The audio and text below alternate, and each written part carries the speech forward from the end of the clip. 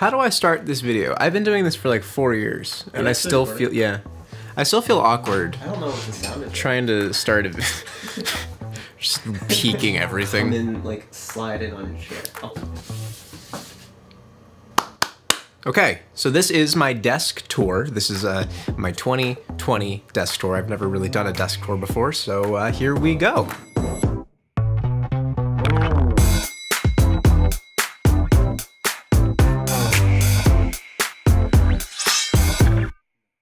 Now, I think first things first, this this nice chair here, it's from IKEA. A bunch of people have been asking me about it, but it's from IKEA. It's pretty comfortable, it's fairly inexpensive, and um, it's, you know, pretty versatile. I can go up, down. But yeah, no, it's a very good chair. It's on wheels too, which is also great.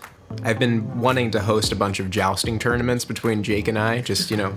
Uh, but this chair is called the, um, this, whatever is up on the screen. I probably, I don't remember what it is, but I probably couldn't pronounce it even if I did. All the links will be down in the description uh, either way. Now, next thing up, we have arguably one of the most important parts of this setup, the desk itself. Now, this specific desk has been discontinued by IKEA, unfortunately, but there's a couple of alternatives that I've kind of put together down the description. Uh, white tabletop, very clean, very reflective, um, and then some some dark brown kind of black legs, uh, and a very big desk. It's also a very wide desk. I think it's meant as like a dinner table as opposed to a desk specifically, um, but I love having a ton of room to just sprawl out and just put a whole bunch of stuff on there. It's great. Now, I originally saw this desk in LA when I was working with John, and he had like a whole bunch of these desks all over the place. And I learned very quickly that if you shoot light at the table, since it's white and reflective,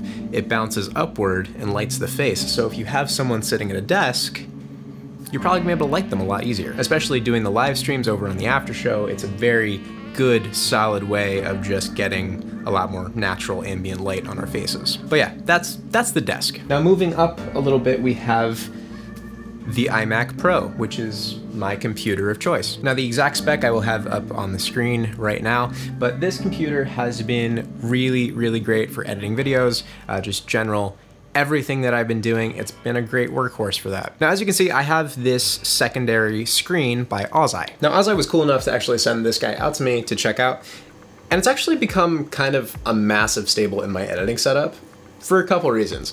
Mostly the fact that I get to have my overall timeline and browser down here and my actual viewing setup of the actual video up here. So that way, you know, I can just be working down here and constantly have a really big feed of what I'm actually editing up above it. Now, in addition, it's also really awesome to be able to just, you know, search the internet down here and decide to go into Spotify up here.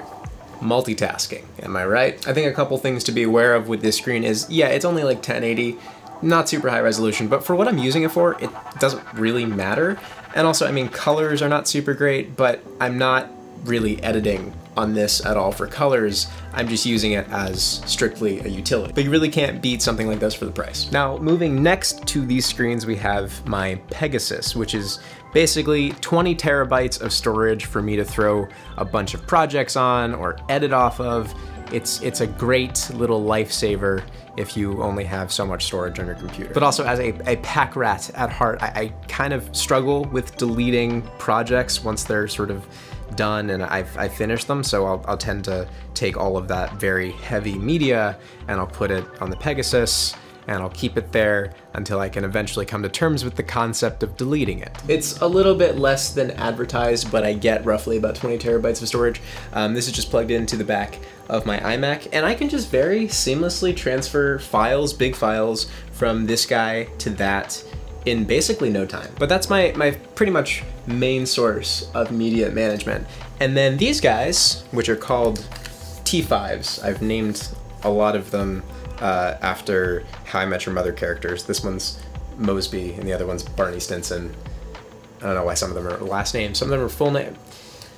But basically, I have like five of these, and they're really great for just being able to transfer smaller or larger files for like either on the go usage or just in the office from computer to computer uh, in a really fast manner. They're definitely on the expensive end, but I absolutely recommend them. And then right next to that, my Red Mini Mag reader, which this is like the fourth one that I've purchased. They break so easily and it's it's not even funny because they're really expensive. So Red, maybe maybe fix that just an idea. But yeah, no, that's that's where the mag, after I am done shooting this video, the mag goes in there and I can very easily transfer it to this computer because Reds have to use SSDs as opposed to like SD cards because they're uh, they're extra. But yeah, that's that's primary and secondary media storage right over there. Oh, okay. Hi. Uh, so uh, we've made it to the personality section of my desk. I know, I have personality, it's amazing. But this is my plant. Uh, his name's Jeff. Is it Jeff? Is it Jeff? Everything you have. No, it's Gerda. This one's Gerda. But no, this is my plant. Uh, very red, very green. I like it a lot. I water it every day. I don't know if I should water it every day, but I do, and it hasn't died yet, so. And then, you know, underneath this, we have my little Google Home. It's very Tiffany. It's very cute. Um, I might I might have just bought it because it was Tiffany for no other reason. Uh-huh. Hey Google, you should give me a nickname. Would you like me to give you a special nickname? Yeah. Great. I'll just use it this one time. You may want to write it down. But first, I have to ask. When it comes to nicknames, do you like them fancy or short?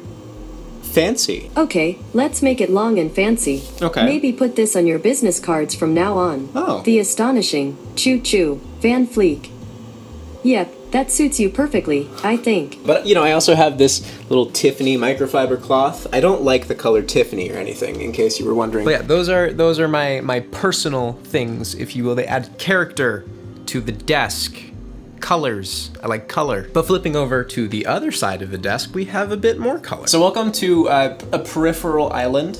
It's what I've apparently coined it. But this is, you know, kind of where I just throw my shit so that it doesn't get lost throughout the day of just like working and throwing stuff everywhere. But yeah, besides the, the sexy Tiffany Timmons lamp, Tom, Tommins lamp, T-O-M-O-N-S, Tommins, Tommins. We also have uh, Jeff the dinosaur. This is actually Jeff, not not Gertrude or Gerda, Gerda.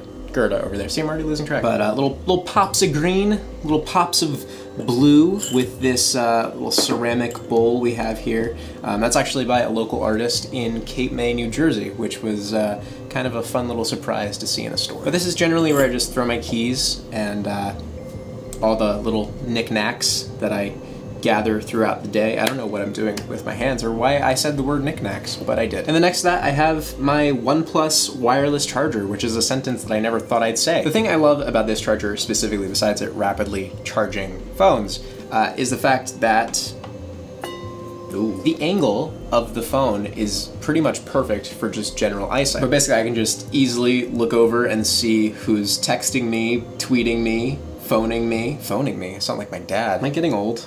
Is this Yes. old? Yes. Oh, fuck. I had porridge today.